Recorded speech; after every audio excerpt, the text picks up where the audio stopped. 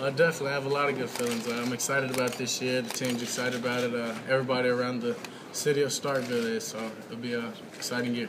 What's your first experience like this? What's it been like? Uh, it's fun. Uh, it's not as bad or as nerve wracking as people made it seem, but uh, it's fun. When you faced SEC defenses, talking to a bunch of us can't be that challenging. No, not at all. You're a lot smaller. When you, you talk about the you know the expectations, you see the people around here and the expectations around the program. I mean, how how much does that kind of fall on you as the leader, the kind of the quarterback of the team?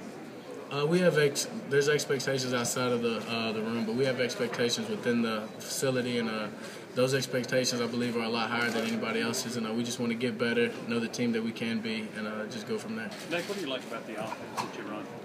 It's a spread offense. I mean, we run it just as much as we throw it, or you really don't know what's coming up each and every play, and uh, there's a lot of diversity, and it's, it's, an explosive offense. Would it suit your game? Do you feel like perfectly? Oh yeah, definitely. I mean, that was one of the reasons for going to Mississippi State and playing for Coach Dan Mullen because I know what he's done in the past and the style of offense that he plays with. So. Uh, How much has he tweaked it in the last couple of years?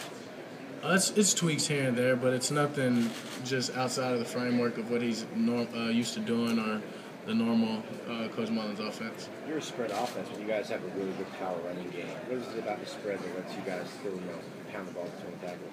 Uh, because we, we have the guys spread out. I mean, we have four wide and we have uh, the defense spread out, worried about the pass, but we have some a powerful backfield. I mean, with the quarterback run and the receiver, I mean, uh, bringing the receiver in and allowing them to run and just giving it to the running back and allowing them to go straight downhill. It's just it, it stretches the defense and they don't know what to expect.